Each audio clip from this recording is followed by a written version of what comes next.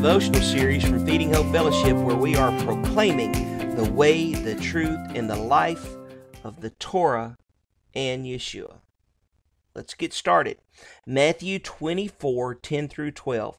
And then shall many be offended, and shall betray one another, and shall hate one another. And many false prophets shall arise, and shall deceive many. And because iniquity shall abound, the love of many shall wax cold. I want to share with you about five years ago, uh, my life, my spiritual walk with God, it began to transition a little bit. It was like He was bringing me up to the next level. Um, and there were several verses that had a huge impact on this transformation. Uh, and we'll discuss all of these in future devotions. But the impact was great and and my eyes just began to open. The Holy Spirit was pushing me to dive deeper into the meaning of words in Scripture, and one of these words was iniquity. I had to know what iniquity meant. Here's what I found out. I'm going to read you the definition. Iniquity is the condition of being without law through contempt or ignorance. Let me read it one more time the condition of being without law through contempt or ignorance. Now, that's the biblical definition. So, law is not just some abstract word here, it actually has its own meaning.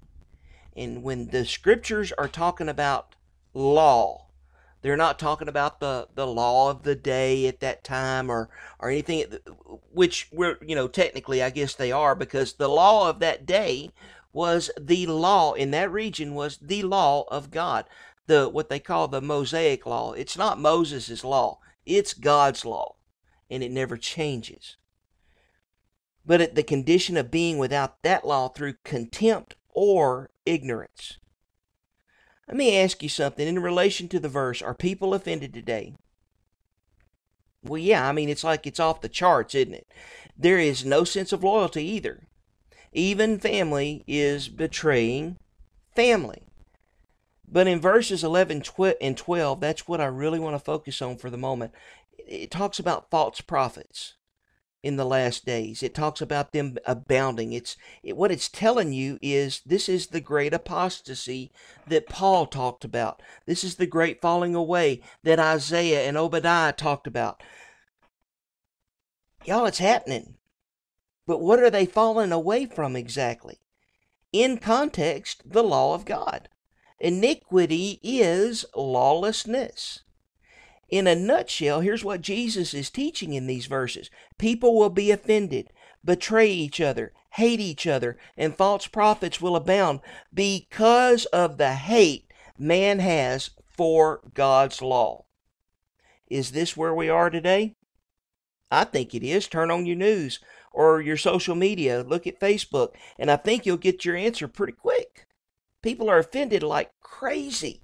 People hate each other like crazy.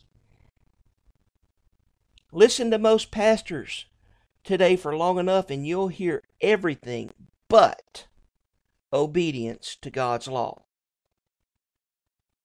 I want you to think about these things, meditate on them today. Study God's law, His instructions, and begin to apply your life to them. Remember, you don't do this for your salvation, but because of your salvation. Y'all make it a great